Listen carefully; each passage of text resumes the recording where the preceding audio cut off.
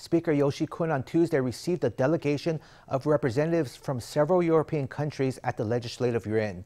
Among them were parliamentarians from North Macedonia and Romania, as well as the partially recognized state of Kosovo. It marked the first time that a cross-country, cross-party delegation from the Balkans visited the legislature. The delegation was led by former Kosovo Prime Minister Avdullah Hoti, who pointed out that both Taiwan and Kosovo face challenges from an unfriendly neighbor. Let's hear from him. It happened that we share, we share the same faith. We have neighbors who are not very friendly toward us. But historically speaking, democracy always prevails and determination always prevails. With my limited information, I can assure you that you have supporters all over the world.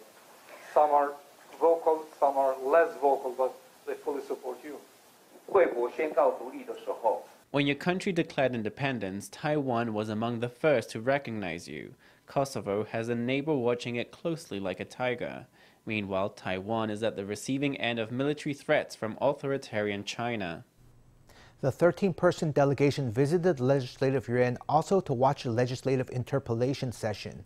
They said they were very interested in the process, taking photographs and asking questions throughout. Hoti, who is also a co-chair in the Interparliamentary Alliance on China, had sat with President Tsai Ing-wen the day before. During his meeting with her, he said preparations were being made to further cooperate with Taiwan.